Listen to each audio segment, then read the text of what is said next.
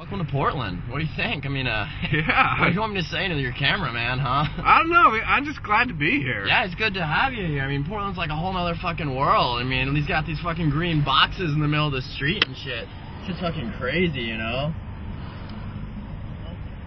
Whoa. Hey, lady, I can squeeze in that box with you.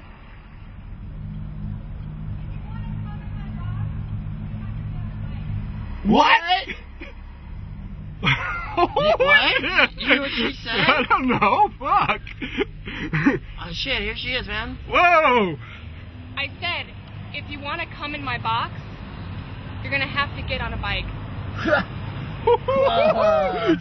Did you get that shit? I got it. Whoa, fucking A, man. Portland, huh? Rock on. Let's Yeah, get a man, let's bike. yeah, let's bike. go get a bike.